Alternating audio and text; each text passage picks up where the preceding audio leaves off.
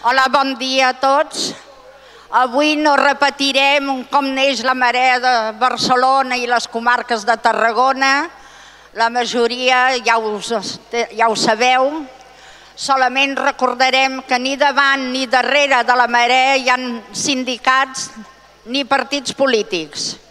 Per aquest motiu sempre demanem que no hi hagin banderes. La marea hi som com a persones, persones que subscrivim les reivindicacions de la marea.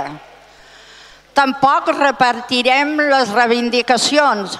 Qui les desitgi les té aquí a la taula. Explicaré el per què ens hem traslladat a la plaça del Mercadal. I quan acabarem l'acte pujarem a l'Ajuntament a fer entrega d'una moció al senyor alcalde i a cada grup municipal. El que es pretén és que el ple de l'Ajuntament es posicioni rebutjant la proposta de la Comissió Europea a la creació d'un producte europeu de pensions individuals. La Comissió Europea espera al mateix temps que tots els membres aprovin la desgravació fiscal per les persones que subscriguin aquest producte. El PEP, que és tal com es diu, és un pas més a la privatització i mercantilització de la protecció social, ja que, lògicament, tot això va a favor dels mercats financers, com els bancs, companyies d'assegurances, gestors d'actius, fons de pensions d'empreses, empreses d'inversions... Tots aquests seran els que se'n surtin beneficiats, més els que puguin permetre subscriure'ls, ja que tindran les desgravacions fiscals en el supòsit de que els estats ho aprovin. Avui també parlarem de la renta garantida.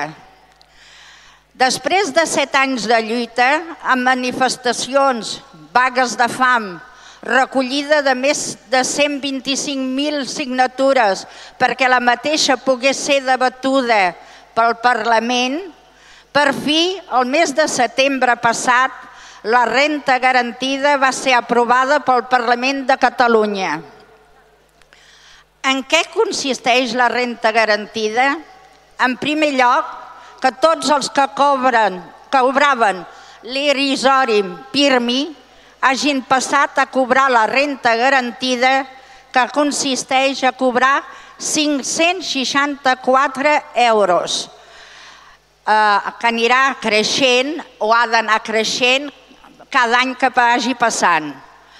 Aquesta quantitat també hi tenen dret els pensionistes, les persones que reben una prestació econòmica o ajudes de l'Estat que no arribin a aquesta quantitat. S'ha aprovat com un dret social que empara a tota la ciutadania de Catalunya, amb la finalitat de que les persones en situació de pobresa tinguin un mínim assegurat.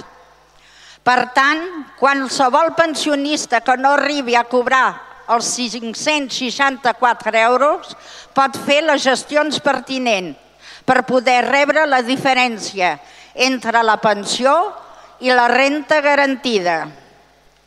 Dic que en aquest moment la direcció del departament està posant traves, però per això no, no s'ha de deixar de sol·licitar. També dic que les traves no tenen res a veure amb el 155, ja que els del PIRMI, que ho tenen directament aprovat, ja l'estan cobrant. Donades aquestes explicacions, us recordem que entre tots ho hem de fer tot, per això la necessitat de no deixar de sortir al carrer. També dir-vos que passaran companys amb una vidriola per qui vulgui fer una aportació per anar cobrint totes les despeses que això ens està generant. Qui vulgui rebre més informació pot apropar-se a la taula on hi serem per atendre-us. Dir-vos que també per Sant Jordi estarem a la plaça del Mercadal, donant tota la informació eh, que la gent vulgui. a part de que tindrem eh, samarretes, xapes, llaços, eh, els manifestos, etc. I ara dono el pas al company que llegirà el tercer manifest.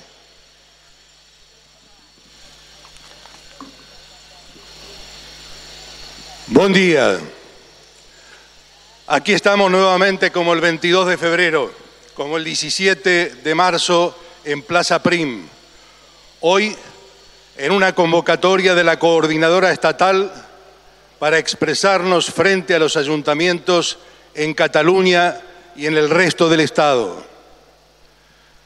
Señor Rajoy, no nos saca a la calle ningún partido político, ningún sindicato. Salimos porque estamos hartos de mentiras y engaños. Y si hay un responsable de que salgamos a la calle, ese es usted, su partido y sus medidas económicas. Lo dijimos y cumplimos. En la calle nos tendrán hasta que escuchen y cumplan con la voluntad popular. Desde nuestra última concentración pública el pasado 17 de marzo, algunas cosas comenzaron a moverse. Dijimos entonces que el único idioma que entienden los gobernantes es el de la calle. Y así fue. Y los que tantas veces dijeron que no había dinero, hicieron aparecer mil cincuenta millones. Pero ¿y qué representa esa suma? Equivale a menos de lo que los ciudadanos estamos pagando por el fallido proyecto del depósito de gas de Florentino Pérez en las costas de Tarragona, el que provocaba los movimientos sísmicos, ¿se acuerdan? Pero sigamos comparando. Esos aumentos han costado tres veces menos que los submarinos que está construyendo el Ministerio de Defensa. Y el rescate a las empresas de las autopistas radiales, otro ejemplo, nos costará cuatro veces el dinero que los gobernantes han destinado los aumentos a una parte de los jubilados. En cuanto a esos aumentos del gobierno, mucho ruido y pocas nueces. A distintos colectivos se les otorgan incrementos que van desde el 1 al 3%, pero casi 5 millones de jubilados quedan con el 0,25. Y tengamos en cuenta que algunos de esos incrementos, como el de las pensiones de viudedad, tendrían que haber comenzado a aplicarse en el 2012 y subir cada año, pero nunca lo cumplieron y entonces ya perdieron más del 4%. Esa es la realidad. La cuestión no son estos euros repartidos para apaciguar las protestas. El problema de fondo es que quieren estrangular poco a poco el sistema público de pensiones. Ellos son los gestores de lo público, pero su objetivo es privatizar al punto que nada menos que el presidente del Banco de España, el señor Linde, se queja de que muchos de los jubilados han preferido ir pagando una vivienda en lugar de invertir en fondos de pensiones de la banca privada. Sí, ese es su consejo. El señor Luis María Linde debe tener un máster en desvergüenza y este auténtico, porque esas frases son su trabajo de fin de carrera, remar en favor de la banca privada y no para los ciudadanos. Como bien señalaba la coordinadora estatal de jubilados, estos incrementos son absolutamente insuficientes y no resuelven la situación del sistema público de pensiones, que desde hace años necesita reformas que lo hagan viable y sostenible. Por el contrario, las reformas del 2011 y del 2013 introducen factores que irán reduciendo los ingresos de los pensionistas. Por eso, por eso exigimos su derogación. Y atención a los jóvenes y a los trabajadores en activo. A partir del primero de enero del 2019 nadie se podrá jubilar con las condiciones previas al 2011 y además el recorte de las nuevas pensiones será del 0,5% anual, acumulativo y revisable. De ese modo, las jubilaciones irán bajando progresivamente. Esas reformas apuntan a la destrucción del sistema público de pensiones. Ese es, a medio o largo plazo, el objetivo del gobierno y de sus cómplices. Por eso decimos que cuando nosotros luchamos, también lo hacemos por nuestros hijos y por nuestros nietos. Lo que ellos consideran inviable porque hay menos cotizantes y más jubilados es producto de sus políticas, porque además de la cifra de tres millones y medio de parados, los nuevos trabajadores son precarios y con sueldos más bajos, al igual que sus cotizaciones. Entre otras causas, por la reforma laboral que provocó un retroceso en la situación social y económica de los trabajadores. Otra ley antipopular y antiobrera que pedimos sea derogada. Ni el gobierno ni gran parte del Parlamento se han preocupado estos años por el Pacto de Toledo, acuerdo que durante varios años permitió, entre otras cosas, acumular un fondo de reserva para situaciones excepcionales y que tenía 68 mil millones de euros en el 2012. Durante la gestión del Partido Popular, sucesivos retiros anuales dejaron prácticamente agotados esos fondos. Lo excepcional realmente fue la propia gestión del gobierno, la forma en que distribuyó los presupuestos del Estado y su desinterés en tomar medidas para garantizar el sistema público de pensiones. Esta situación no ha sido una fatalidad, tiene responsables y no hay que buscarlos mucho. Los ejecutores de esas políticas ya han recibido premios. Nos referimos a la obediencia a los dictados de la Troika Europea, que no representa a sus pueblos, sino que actúan como simples testaferros de los verdaderos poderes que son los económicos financieros. El ministro de Economía del señor Rajoy ha sido premiado con la vicepresidencia del Banco Europeo. Ya lo dijimos, no fue un error. Algunos, cuando terminamos el último acto, nos preguntaron si no nos habíamos equivocado con las cifras. No, no nos equivocamos. El señor de Guindos ganará un sueldo de 334 mil euros anuales lo que equivale a 927 euros por día. O sea que ganará en un día lo que no ganan en un mes millones de jubilados o trabajadores en este país. Y eso sin contar dietas, vivienda, vehículos y otros complementos. Esa también es la realidad. Y estos personajes son los que nos suelen pedir paciencia y sacrificio a los ciudadanos y sus compañeros de viaje son los altos cargos o los directivos o consejeros de bancos y de grandes empresas que también se autoaplican o se adjudican sueldos millonarios. Y no es una forma de decir, es la realidad. Los presidentes de los seis mayores bancos privados españoles ganaron una media de 3,7 millones de euros al año. Los presidentes, no los bancos. Eso significa 140 veces más que el salario medio de un ciudadano español, según las propias estadísticas oficiales. Y allí están además los balances de esos bancos y de esas grandes empresas que siguen aumentando beneficios aún durante las crisis, mientras las mayorías sociales son las que padecen sus consecuencias. Pero todo esto, insisto, no es fatalidad ni es accidental. Es un sistema montado y aceitado para beneficiar a pocos, perjudicando a muchos. Y eso requiere políticas antipopulares.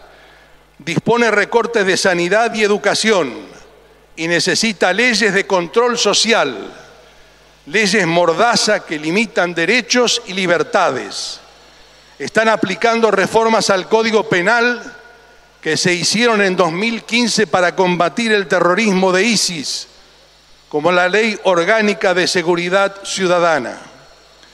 La interpretación de esas normas puede suponer una deriva autoritaria y restrictiva de derechos y libertades de los ciudadanos que se hace en nombre del orden público. Eso pone en riesgo la libertad de expresión y el derecho a la protesta social. Otro engranaje fundamental del control social son la mayoría de los medios de comunicación, los grandes medios, canales privados, prensa gráfica, cadenas radiales, están en manos de consorcios empresariales, grupos bancarios, no solo locales, sino otros como Goldman Sachs, constructoras, grupos inversores, editoriales o personajes como Soros, Polanco, Godó o Berlusconi. Y esos medios son los que nos dan la información de cada día, los que manipulan u ocultan, los que exageran o tergiversan. Y el bombardeo continuo hace su efecto. Por eso, compañeras y compañeros, tenemos que armarnos, armarnos de datos, argumentos y razones, que las hay de sobra. La razón y la verdad son nuestras armas. Ellos solo se preocupan de que la distribución de la renta siga creciendo en favor del capital y en perjuicio del trabajador. No es una frase. Allí están los cuadros estadísticos que lo denuncian.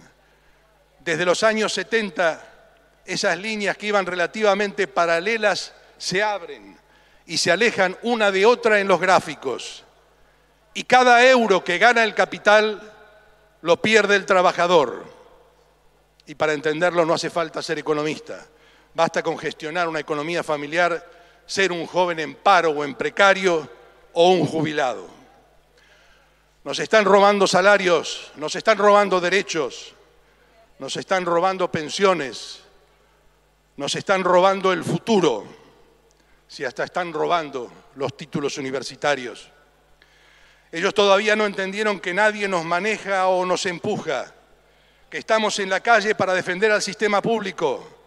Queremos que las pensiones no dependan de marchas y protestas y porque su actualización y sus objetivos son un derecho que no nos cansaremos en recordarlo, está en el artículo 50 de la Constitución y que por eso luchamos, para nosotros, pero también para nuestros hijos y nuestros nietos porque sabemos que estos derechos no cayeron del cielo ni fueron un regalo.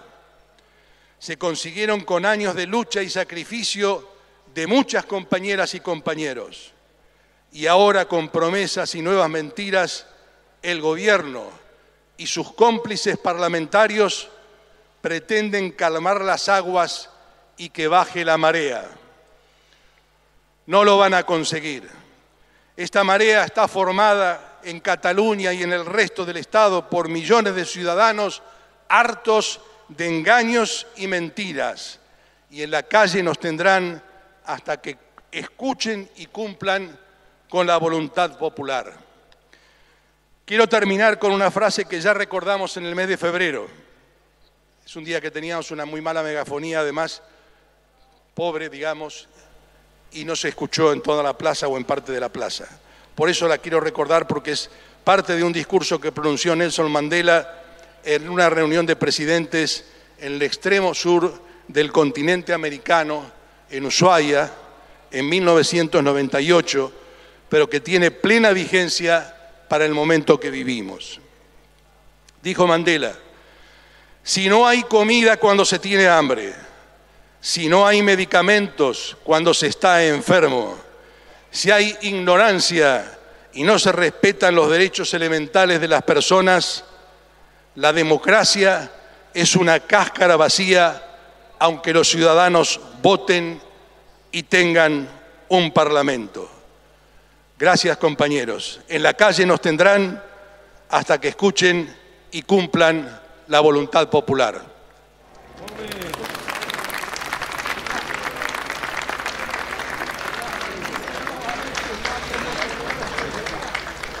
Ara dues coses. Per qui estigui interessat, per qui estigui interessat en tenir el manifest, En tenim unes còpies al damunt de la taula, en català i en castellà. Qui vulgui les reivindicacions també les trobaran sobre la taula i qui vulgui saber qui som també té la informació sobre la taula. Ara eh, pujarem a l'Ajuntament a fer entrega la moció als, eh, als grups municipals i a dos quarts d'una el senyor alcalde ens està esperant per poder-li fer l'entrega amb ell personalment. Uh, gràcies per assistir i us esperem cada vegada que us convoquem. I feu-ho córrer, hem d'anar omplint les places i hem d'anar omplint els carrers que sols no ens ajudaran. Hem de ser nosaltres que anem reivindicant. Gràcies. Sí.